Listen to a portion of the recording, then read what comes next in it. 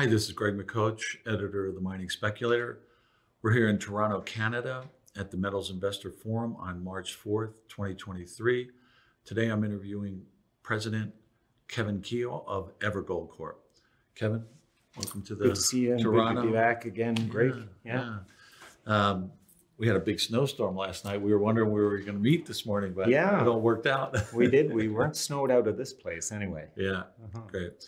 Well, I wanted to focus on what's new with Evergold because Yeah. I think this is an exciting part of what's about to happen. And for anybody that wants to be involved with exploration in gold in Nevada, Mhm. this is a great story. Yes. And one of the key points I think we should focus on is that you are fully permitted. Mhm. And, and why don't you tell us about the Rockland? Yeah, I, I think the Rockland story is the one that I'd really like uh, investors and would-be investors out there to be aware of because although it's a property we've had for two years now, what's totally new is that we just got permitted for a very substantial drill program two weeks ago. So uh, it's in a, Rockland is in a very hot part of the uh, Nevada geological landscape, the Walker Lane. It's Right. on the west side there.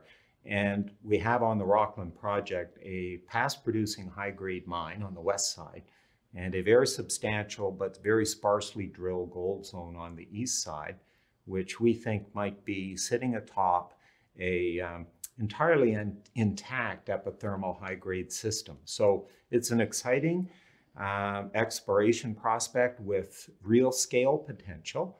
And in the Walker Lane, find a project with real scale potential is really exciting. Well, yeah. And it attracts the attention of the majors. Right. And um, as soon as you manage to get a project like that permitted, and I would briefly mention that our our project is permitted for as many as 165 holes, 33 sites, and potentially as much as 75,000 meters. So uh, we're looking forward to unfolding it, uh, that project. We just need to work out the details as to how we're going to do that. Yeah.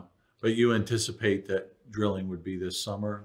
Yes, we have to actually start the work, Greg, on, on the Rockland project within a year of getting the permit.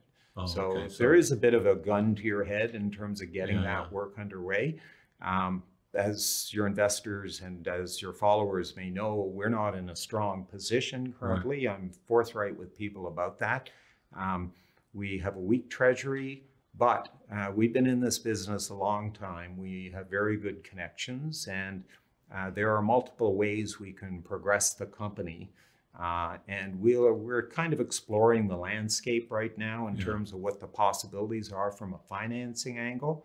But people should be confident that we are going to find a way to get this done because I'm highly motivated to see this company's success Yeah. or succeed. Oh, we- least, you know? We've made money with you before, and I Mhm. have no doubt no, no reason to doubt that. So, what what I see too is that you know, when we talk about Nevada, and my my subscribers know that we've had a lot of success in Nevada over Mhm. a long period of time, and that you know the majors are so desperate to replenish reserves. So if you get a fully permitted project like Rockland on the Yeah. Walker train on Walker Lane trend there, you're you're going to get attention. Yes. And I don't think you'll have any problem with a fully permitted uh, situation like that.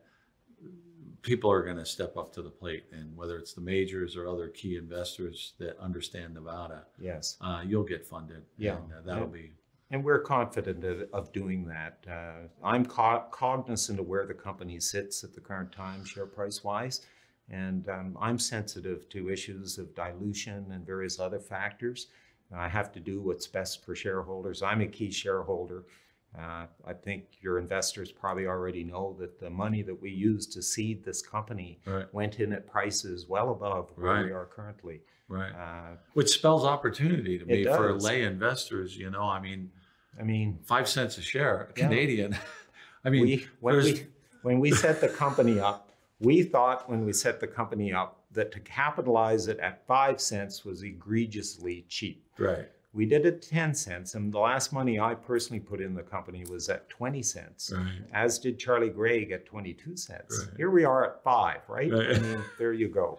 but it's it's Anyway. this is how we make money in this business you have to train yourself to buy when the news is bad and these things are grossly undervalued, Yes. right?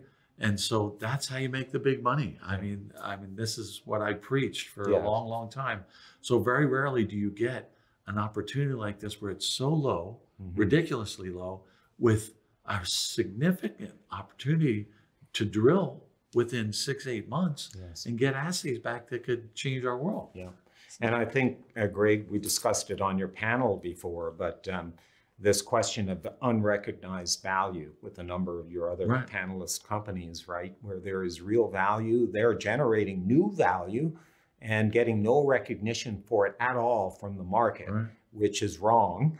Um, we ha- we're in a similar situation, even in our in British Columbia with our Golden Lion property. It's a very large property, very large gold silver zone on it. There's real value there, but the market hasn't been willing to assign any value to the company for it to Right. date.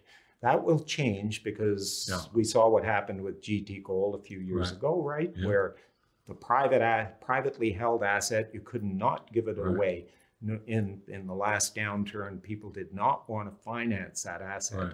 But two years later, with the same presentation, we're able to finance it. What changed? Right. Just the timing, just timing and and, investor sentiment. perspective, yeah, with Yeah. people. So, no, you, you have to buy this stuff when the news is bad. That's the time Yes. to do it. So, uh, another situation that I want to bring up with uh, investors who are listening is that, you know, you're very good at assessing project value. And I think what I'm seeing with some other companies that I'm also covering in my newsletter is that they're looking for drill ready targets Yeah. where we can test something with just three drill holes, let's Yes. say. And it's not going to break the bank, Mhm. but it still gives us good bang for our buck. Yeah. And you're good at identifying that. Do you have any right now that you're excited about? Yeah, we're actively exploring. As I said, I'm motivated to do what's best for this company and its shareholders to get the price up well above where it is. And as part of that, we've been very actively looking at assets in the US and Canada that could potentially really motivate the stock price to move higher, to get people in.